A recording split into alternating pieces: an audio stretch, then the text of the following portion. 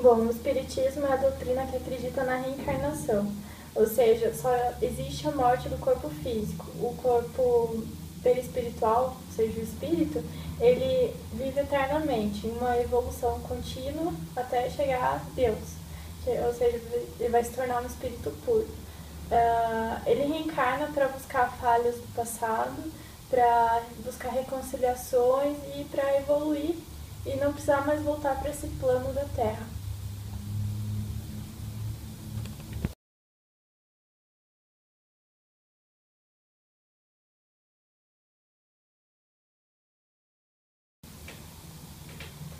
Bom, eu sempre tive contato com o espiritismo desde muito jovem, porque meus pais são espíritas.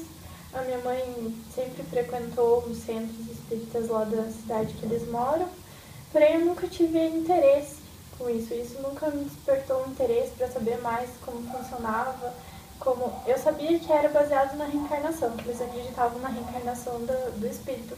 Porém, eu nunca tive interesse em saber como que funcionava o centro espírita, o que eles faziam é, quais as ações que tomavam, como funcionava um, um centro, uma sessão de estudos.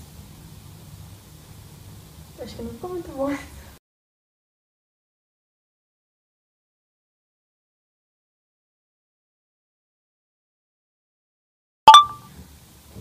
Bom, apesar de meus pais serem espíritas, eu cresci num círculo que as pessoas eram católicas.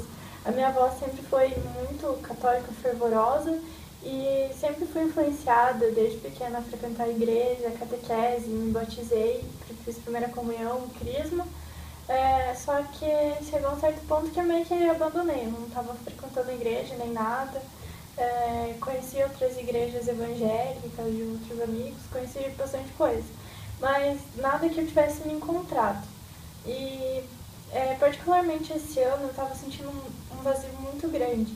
E é, atrelado a isso, minha mãe tem uma mini biblioteca de livros e eu peguei um livro para ler e conhecer um pouco mais sobre o Espiritismo. E foi desde então que eu senti que eu me encontrei, que era essa religião que eu queria seguir.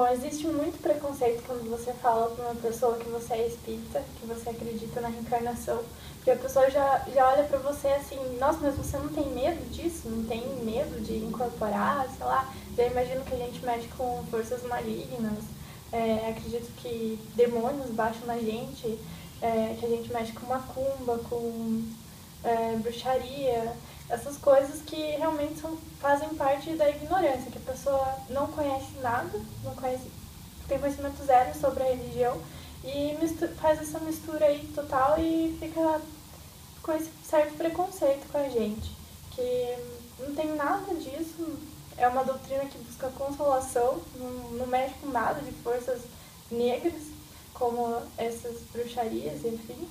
É, é puro preconceito das pessoas. Cara, tipo uma bosta. Quer fazer de volta?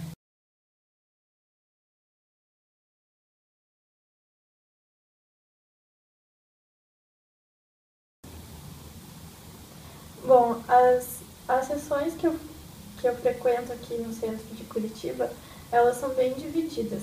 É, nossas reuniões de segunda, quinta e domingo, elas acontecem em grupos menores para estudo do Evangelho segundo o Espiritismo são questões levantadas pelo Evangelho de Jesus Cristo, porém interpretadas por espíritos já desencarnados, são espíritos iluminados, espíritos mais elevados e com auxílio do médium e fundador da doutrina espírita é, Allan Kardec, foram psicografadas e até hoje servem como guia para gente no Espiritismo. É, um exemplo desse é o livro é, o Livro dos Espíritos, que tem uma, uma coleção de perguntas também e respostas feitas pelo médium e respondidas por espíritos iluminados. É, daí nas sessões a gente lê um pouco disso, faz uma reflexão sobre isso no grupo e no final a gente faz uma oração. Agora, na sexta-feira, toda sexta-feira do mês a gente tem uma palestra com temas diversos, às vezes é, são relacionados aos temas da sociedade, uh, desenvolvimento pessoal, como caridade, perdão, consciência. Uh, outras vezes são temas mais relacionados à elevação a Jesus Cristo. É, falam de temas mais da vida de Jesus Cristo, vida, é, e por exemplo no, outro, no último encontro que a gente teve, o palestrante falou da vida de Allan Kardec, é, que é o fundador da doutrina, e é bem. É, só esse final que não ficou legal, mas enfim. É isso.